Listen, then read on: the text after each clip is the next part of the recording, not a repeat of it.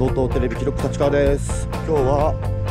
ぐるっとパノラマビホロ峠に来てます今現在時間は朝の4時15分。今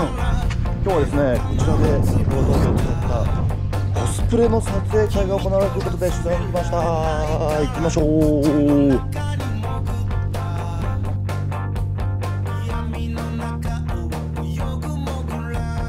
ビホロの絶景をテーマにしたコスプレツアーをやります。今日はまずビホロ峠のこちらの方で、えー、と撮影をして、えー、次に、えー、白樺並木、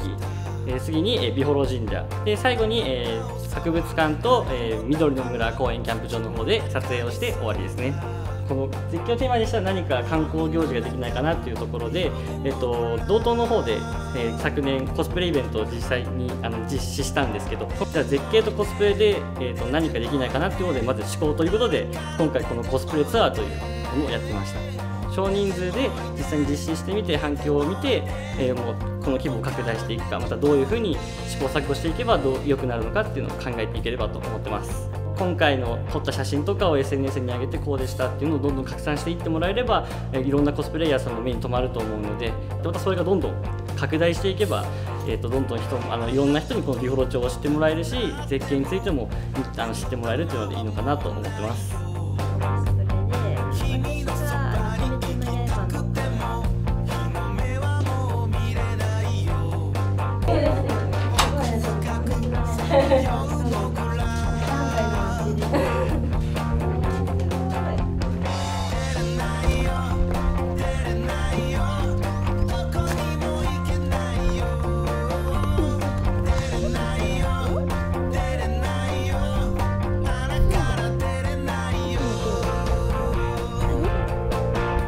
ツイッターで見ていいなと思って。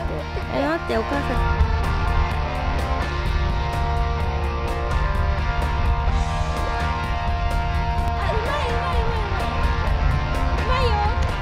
美幌町の観光施設とか魅力を他の町民の方だったりとか知ってもらういいきっかけになるかなと思っております美幌町に来てもらっていい思い出であの帰っていって いただけたらなとは思っておりますね。はい。イ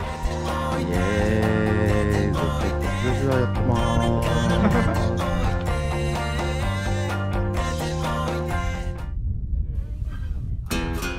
なた輝く街テレビロートテレビ